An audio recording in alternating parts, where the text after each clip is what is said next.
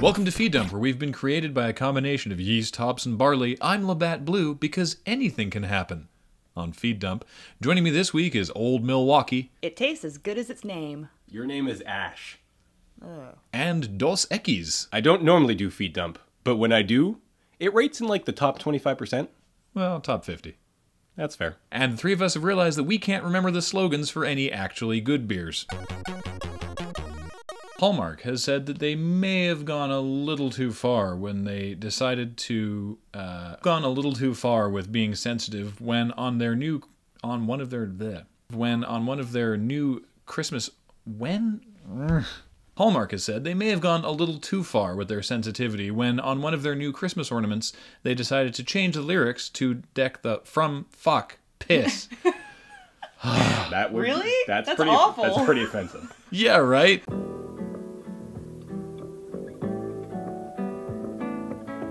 Hallmark has apologized for the words on one of their new Christmas ornaments, specifically the line from Deck the Halls, Don We Now Our Gay Apparel. Apologized because they changed it from gay to Don We Now Our Fun Apparel so they wouldn't offend anybody. Yes, we don't want to offend the homosexuals, so let's just ignore them and every word associated with them.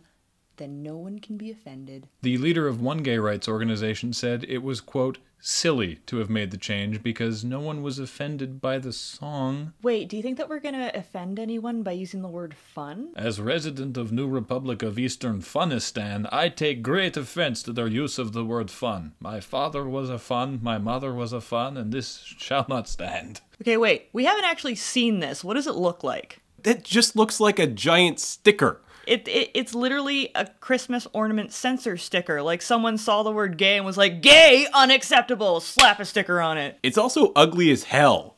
A man in New Mexico has filed a lawsuit against police after being subjected to eight searches of his butt following a routine traffic stop. I understand the first six, but really, is the extra two necessary? Wait, eight consecutive searches or just one that lasted eight times as long? I'm glad you asked. In fact, the final tally is eight consecutive searches, three enemas, two x rays, and a colonoscopy. I know what time it is. James and Ash have to figure out what's, what's in in this this American's American's butt. butt. Butt stuff? Define butt stuff. I don't know, like poop and toilet paper bits and. Why would you spelunk for that? Some irreplaceable heirloom that belonged to the arresting officer. How is anything belonging to the arresting officer going to get in this guy's butt before they search it? If it belonged to the arresting officer, see, this is how it's playing out in my head. He knows the guy, and he's got some sort of feud, like long standing feud going with him. So, like, they do the first search, and they're like, sorry, Frank, we didn't find your ring. And he's just like, no, no, Bill has it. I know he took it. You do it again.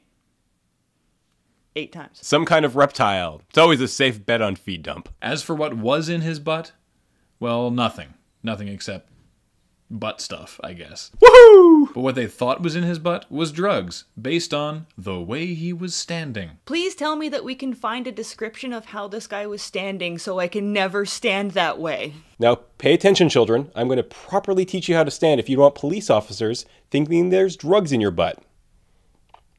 You see what I did there? I stood like a normal human being. Do not stand like this. Oh, God.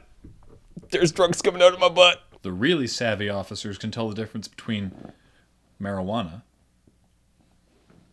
crack, and meth. Mm, sharp.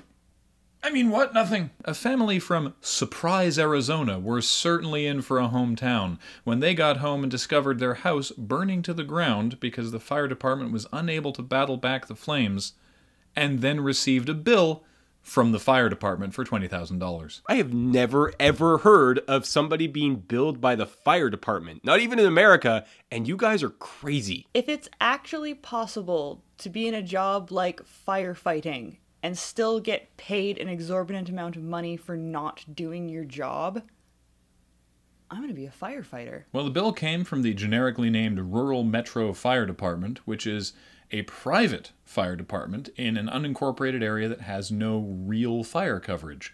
this is apparently a thing. So what exactly is going to happen if they refuse to pay the bill? Are they going to like seize their assets or something?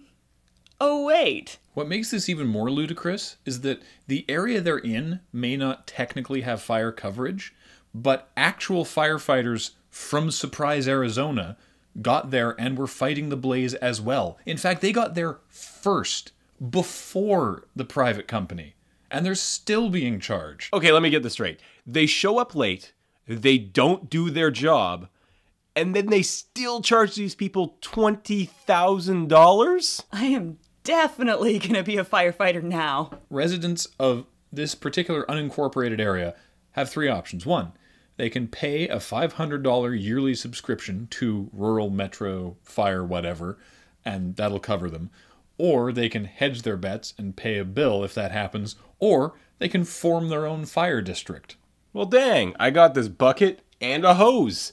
Let's do this. sounds good james i'll help you out with this hat which other sources of news might be better than us but don't have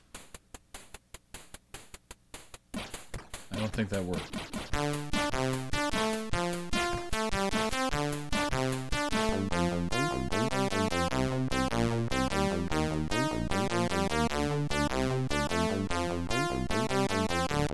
As if that all wasn't bad enough.